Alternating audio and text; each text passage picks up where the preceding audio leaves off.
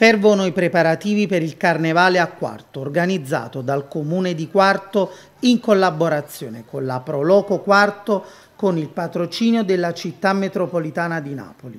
Un programma che, come si evince dalle parole del vice sindaco e assessore agli eventi e spettacoli Anna Rita Ottaviano, sarà ricco di eventi e iniziative. Abbiamo iniziato già domenica scorsa con l'associazione Gaspare dove ci sono state varie attività sul territorio, una mezza mattinata domenica eh, dedicata ai bambini. Continueremo domenica, lunedì e martedì, dove domenica praticamente si inizierà in villa comunale, si farà una parata e una sfilata sul territorio quartese eh, che terminerà verso le 15 del pomeriggio.